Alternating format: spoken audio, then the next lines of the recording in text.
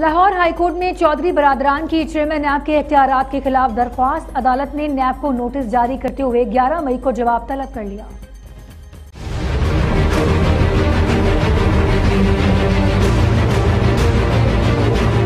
Lahore high court में चौधरी बरादरान की chairman नैब के इख्तियार के खिलाफ दरखास्त पर समात हुई। जस्टिस सरदार अहमद दईन की सरबराही में दो रुकनी बेंच ने केस की समात की। स्पीकर पंजाब असम्बली चौधरी परवेज इलाही अदालत में पेश हुए। चौधरी शुजात और चौधरी परवेज इलाही ने लाहौर हाई कोर्ट में नैब के खिलाफ दायर दरखास्त में मौकफ अपनाया था की नैब सियासी इंजीनियरिंग करने वाला इदारा है। नैब के किरदार और तहकीकत के गलत अंदाज पर अदालतें फैसले भी दे चुकी हैं।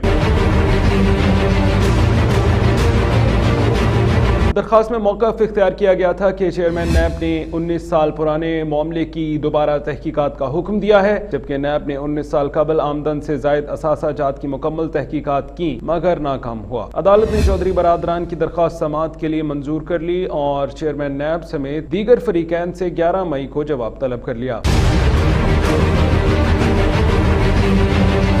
रहनुमा काफली कामिल अली आगा का कहना था कि हमने मुकम्मल मौकफ तहरीरी तौर पर अदलिया के सामने रख दिया है। पीर को हमारे वकला इस बात पर बहस करेंगे। बीस साल बाद हमने फैसला किया है कि हमको अदलिया के पास जाना चाहिए। बीस साल में बार बार केस उठाया गया और नैब के तफ्तीशी अफसरान लिख देते थे कि इसमें कुछ नहीं। बीस साल पहले नामालूम शख्स की दरखास्त पर हमारे खिलाफ तहकीकात शुरू की गई।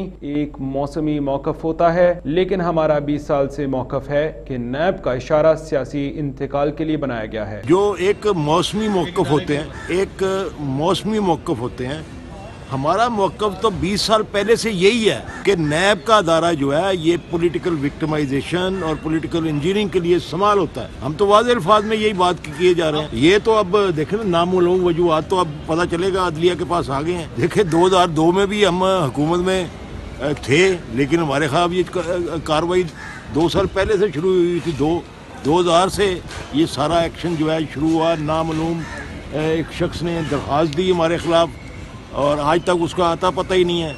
वजूहत भी नामूम है।